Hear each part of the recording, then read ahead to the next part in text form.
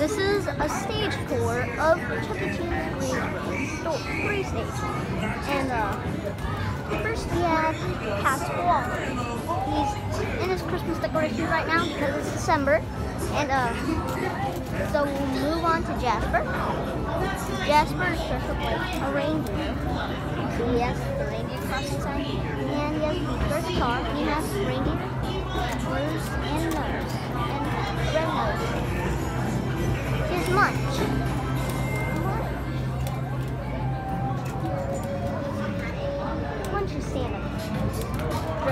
Here's Helen Henny. I don't know how to say about her, but she's like a, like a bird, maybe like an eagle bird. And here's E. He's in this Christmas outfit. Uh, it's Santa hat. So, bye guys.